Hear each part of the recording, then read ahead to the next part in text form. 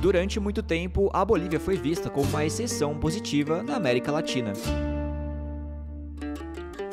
Enquanto outros países da região sofriam com crises, a Bolívia parecia ter encontrado o equilíbrio perfeito. Havia crescimento econômico sólido, inflação controlada e menos pobreza. E tudo isso foi possível graças a um boom nas exportações de gás natural.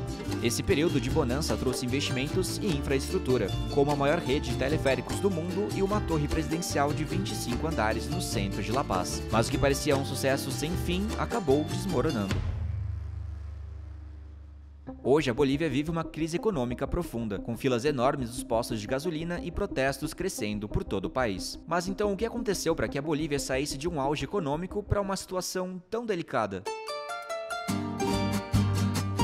Tudo começou com a descoberta de grandes reservas de gás natural. Em 2006, o então presidente Evo Morales reformulou o setor energético, aumentando impostos para garantir mais receita ao governo. O problema é que as empresas petrolíferas, como a Petrobras e a Shell, decidiram não investir em novos campos por causa das altas taxas. Em vez disso, exploraram apenas poços já existentes, e o gás começou a se esgotar lentamente. Sem investimentos contínuos, a Bolívia, que antes exportava energia para os seus vizinhos, agora precisa importar combustíveis para atender a sua própria demanda interna. Em menos de 10 anos, o nível de exportação de gás natural caiu para menos da metade. Atualmente é exportado menos de 20 milhões de metros cúbicos por dia. Com a queda na produção de gás, a Bolívia enfrenta hoje uma crise de abastecimento.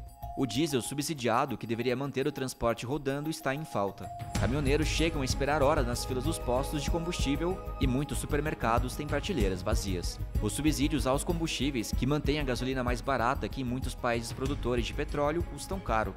O governo de Arce precisa gastar dinheiro que já não tem, e essa política drenou as reservas internacionais do país, gerando uma escassez de dólares no mercado oficial e criando um mercado paralelo. A situação é tão grave que enviar dinheiro para bolivianos no exterior se tornou quase impossível, afetando diretamente estudantes e famílias que dependem dessas remessas. Essa crise não é só um problema local. A América Latina vive um momento de tensão generalizada. A Argentina está mergulhada na pobreza, o Equador enfrenta uma onda de violência ligada ao tráfico de drogas e a Venezuela continua em colapso político e econômico. Se a situação na Bolívia se agravar, isso pode aumentar o fluxo de imigrantes, alimentando tensões sociais na região e até na fronteira com os Estados Unidos. Para o presidente Luiz Arce, a pressão é imensa. Com eleições marcadas para 2025, há dúvida se ele vai conseguir completar seu mandato. Arce, no entanto, diz que a culpa pela crise é do ex-presidente Evo Morales, que teria errado ao superestimar as reservas de gás. Apesar das dificuldades, Arce acredita que a Bolívia pode sim se recuperar. Ele aposta em novos investimentos para explorar campos de gás e na construção de usinas de biodiesel. O governo também planeja reciclar óleo de cozinha para transformá-lo em combustível, prometendo que até 60% do diesel consumido será substituído por biocombustíveis até 2026. Além disso, Arce menciona projetos de exploração de lítio e aço como forma de diversificar a economia. A Bolívia tem um potencial enorme com reservas de lítio, ouro e fontes de energia renovável, mas o que acontece é que o país não conseguiu desenvolver essas indústrias de forma eficiente.